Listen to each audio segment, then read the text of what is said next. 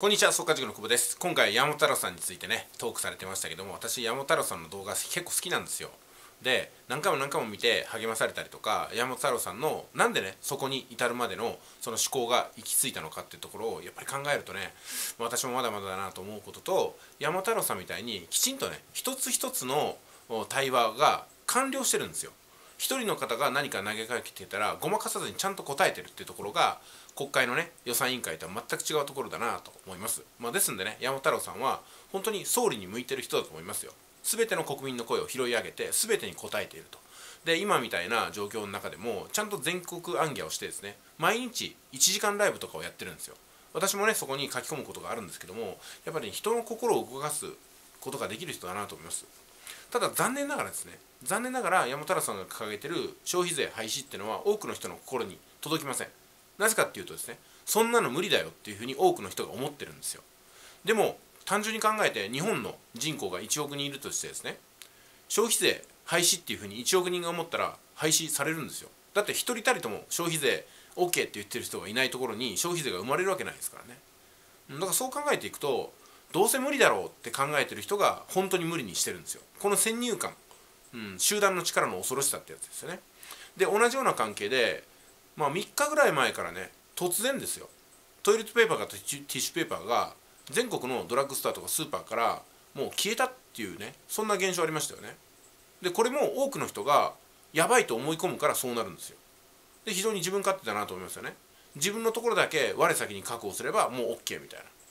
うん、そういうことが働いてるんですよ。自分はいいですから必要な人から使ってください。本当に必要な人に行き渡らなくなるでしょって言葉がありますけどまさにねそれを邪魔してるんですよ。多くの人が。自分の思い込みにあってですね。あのトイレットペーパーなんてなくたってウォッシュレットがあるじゃないかって思えないんですよね、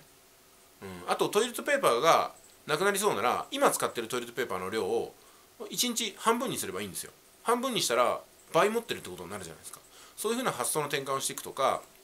紙おむつがねなくなったら大変だからって言って買い込んでる人もいるんですよ。でも紙おむつがなくったって別に布でいいわけですよね。何回も洗って使うみたいな。で私たちのお父さんお母さんの世代っていうのはまさにね紙おむつがないですから。布おむつが当たり前だったんですよ。紙おむつってせいぜいここ30年で普及したぐらいに過ぎませんからね。そう考えていくと多くの人は間違った先入観を持ってその間違った先入観を大事に抱えていって間違った結果に突き進んでいるというふうに思えることがあるんではないかなと思うんですよ。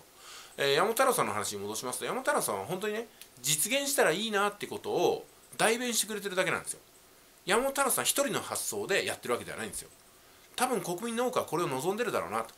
奨学金をチャラにする。これ望んでない人いないんですよね。奨学金で苦労されてるその当事者、そのご家族、みんな望んでるんですよ。この奨学金の返済さえなければこの利息さえなければって思ってるんですよ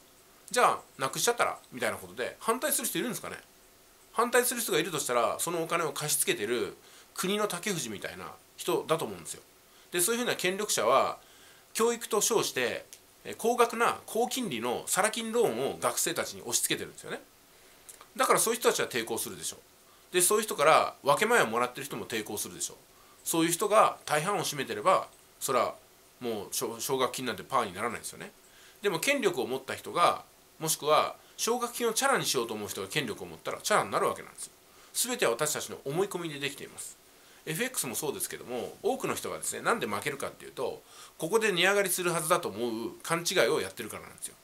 で多くの人がその勘違いをしてるところに逆張りをしてるまさに少数決を取れる人がいつもいつも勝ち残っていくんですよね。おそらく私みたいな立場吉谷さんみたいな立場も少数決を勇気を持って選んだ人もしくは勇気がなくて適当に選んだ人なんですよ。でも結果的におそらく多数派よりも自由で多数派よりもたくさんの発想を持って多数派よりもたくさんの時間と経験を毎日積み重ねていると思うんですよ。多くの方がやってることを同じようにやって一定の安心感はあるでしょうけどもでも人生という時間が盗まれてると私は思いますね。皆さんどういうふうにお感じでしょうか？自分の人生や時間が盗まれてるって感じませんか？自分の家族とゆっくり過ごす時間がない。自分の彼女とゆっくり過ごす時間がない。自分のお父さんお母さんを介護しながらゆっくりとね見とってあげられない。これなんでかっていうとお金がなくって借金を返してるって現実があるからだと思うんですよ。お金がない。しかも今年はね2020年はもっともっとお金がなくなります。多くの会社が倒産するでしょ。うそしてその倒産することを防ぐために緊急措置として新しい融資枠を設けますよって言ってるんですよ。新しい融資枠ですよ。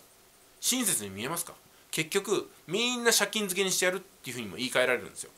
冗談じゃないですよね。借金には利息がついてもありますし何よりも借金があるというその苦渋に苦痛にですね多くの方は耐えられないんですよ。借金に束縛されるんですよ。私は違いますよ。借金があっても全然へっちゃらでキャバクラ行きますからね。借金なんて、ね、いよいよとなって踏み倒してやるぐらいの気持ちでやりますからね。ただし全額返す。そういうふうなインパクトを私の心の中に今は持ってますから今はね恐れなく1000万3000万という借金は立ち向かっていきます。でも当時私がねちょっと私の話になって恐縮ですけどもあの数年前は私はね究極となったら踏み倒すつもりで借金を重ねてましたからね。でこのぐらい大胆に少数決になっていくってことなんですよ。で本当にね多数派多数決っていうのは私はね結果的にはあんまり良くなかったんだと思います。学校に行ってもですね集団生活の中でみんなと同じことをやっぱりね要求されるんですよ。で今回の動画の結論ですけども多くの場所でですね多くの人が右へ習えで、うん、学校をねもうやめてみたりとか休校にしてみたりとか企業活動を抑制したりイベントやコンサートを中止してみたり。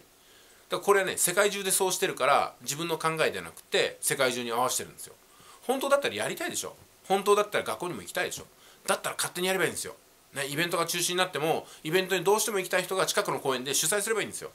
でそういうことせずに自分の責任取るの怖いから今みんなが辞めてるところで自分だけやったら目立つからみたいな感じでやっちゃってるんですよね。でもなんか今朝のニュースでなんか Perfume だかなんだか分かんないですけどもどっかのコンサートは今日初日でスタートしたらしいですよね。批判を浴びる中。うん。いやいいんですよ。だって別に法律で禁じられてるわけでもないし嫌な人は来ないわけですから。ね。一定のリスクを承知でそのリスクを自分の責任で回避しながら集まってくれる人最も安全な集まり方じゃないかなと思うんですよ。それに比べたら普段無軌道にされているイベントやコンサート本当にね手洗いもないしトイレに行った人がそのまま帰ってくるようなそんなねビュッフェとかがあるわけですよ。でそっちは今までずっと意識してなかったのに何やってるんですかってことですよね。でティッシュペーパーの話にちょっと戻ります。話がねあちこち行きますけどもティッシュペーパーの話トイレットペーパーの話なんですけどもこれ多分ね3日ぐらい前までは誰も意識してなかったんですよ。急にトイレットペーパーやティッシュペーパーが売り切れるなんて。えー、で私もですねレシートありますけども3日前に偶然買ってるんですよ。トイレットペーパーをね。でその次の日にそんな事件が起きるもんだから何慌ててんだ？みたいに思うんですよ私はね。トイレットペーパーやティッシュペーパーはコンスタントに製造されてるから品枯れすることはないよと思うんですけどもなぜかねどこに行ってもないって言うんですよ。大変だと思うんですよ。でもなくなったにしても3日4日の話じゃないですか。これがね1ヶ月ずっと同じ状態だったらやばい品薄だって思っていただきたいんですよ。何をその短絡的なねこう考えしか持てなくって多数派の人は本当に目の前しか見えてないなと思います。狼狽しすぎなんですよ。で今回ね世界中で流行ってるこの病気も私は11月の下旬から YouTube で発信してるんですけども